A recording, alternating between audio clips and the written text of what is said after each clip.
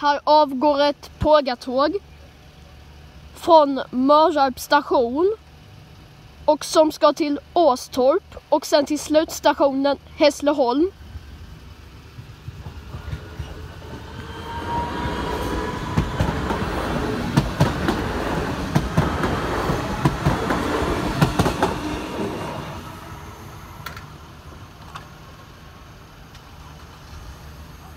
Och som kommer från Helsingborg.